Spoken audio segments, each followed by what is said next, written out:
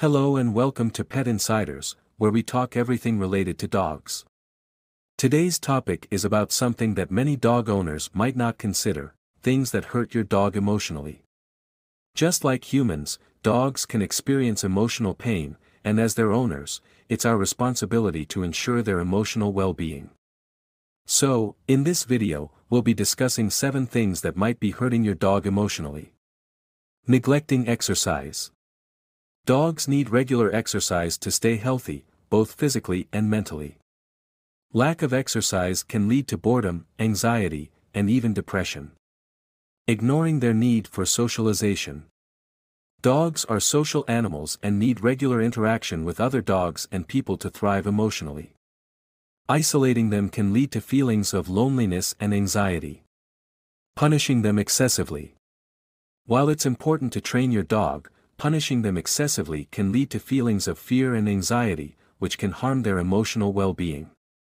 If you're enjoying the video so far, please make sure to hit the like button and subscribe to our channel. Ignoring their physical needs. Neglecting your dog's basic physical needs, such as food, water, and shelter, can lead to feelings of neglect and abandonment. Yelling or screaming at them. Dogs have sensitive ears and can be easily frightened or traumatized by loud noises. Yelling or screaming at them can cause emotional distress and even lead to long-term anxiety. Overlooking signs of illness.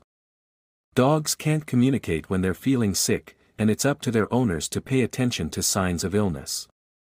Ignoring these signs can lead to unnecessary pain and emotional distress. Not providing enough mental stimulation. Dogs need mental stimulation to prevent boredom and anxiety. Not providing enough mental stimulation can lead to destructive behaviors and emotional distress. So, there you have it, 7 things that might be hurting your dog emotionally. As dog owners, it's our responsibility to ensure our furry friends are happy and healthy both physically and emotionally. By avoiding these common mistakes, we can help our dogs lead happier and more fulfilling lives. Thanks for watching. If you enjoyed this video please hit that like button and subscribe to Pet Insiders for more dog-related content.